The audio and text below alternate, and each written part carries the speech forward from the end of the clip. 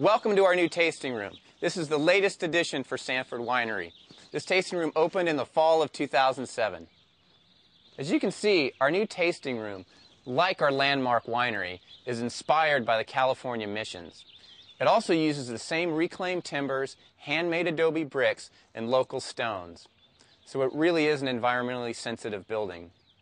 Now, just like our landmark winery, it's also energy efficient, which we're very proud of. Thanks to a significant investment by our owners, the Terlato family, we can now provide you, our visitors, a complete winery experience with tasting room, winery, and vineyards all in one location.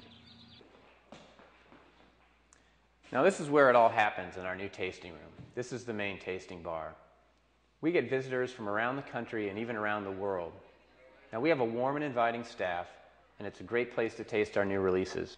Currently, we have our Sauvignon Blanc, two Chardonnays, our Vin Gris of Pinot Noir, and our signature Pinot Noir.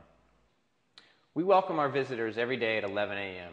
We're only closed a few days a year for major holidays. Now, we use this beautiful building for more than just wine tasting. We also do special events, private tastings, and we also give winery tours. But to sum it all up, there's really no better place to taste Sanford wines right here in the heart of the Santa Rita Hills.